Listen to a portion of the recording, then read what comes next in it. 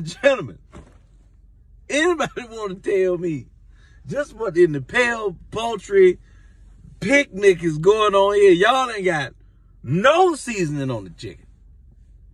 None. You not not y'all salt, anything. Y'all don't have nothing. but naked, just raw, bland a chicken. Y'all putting chicken hips on the doggone grill, just nothing. No vinegar, nothing. What y'all season the chicken with? Water? Huh? What? I like, why, why do this? Why, why, why, why, why must, why must a, a, a, a, a chicken pass away for, for this? I don't, I don't understand. Just eat plastic. If you're going to do it like, eat, eat some plastic. Styrofoam.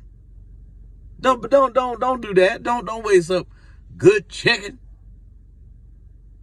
Look, look, there's nothing. You literally have nothing on that.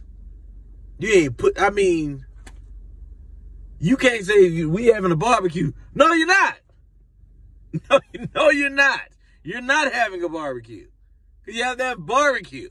And barbecue's a seasoning. You can't, you can't say that. You, you, you just can't. Gosh, guys, come on.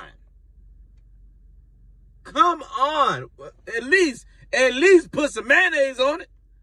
And what, what you put it on everything else? Put some, put some, got raisins. Y'all did anything right now. Anything will do. Anything will do. You put, you love mayonnaise and raisins.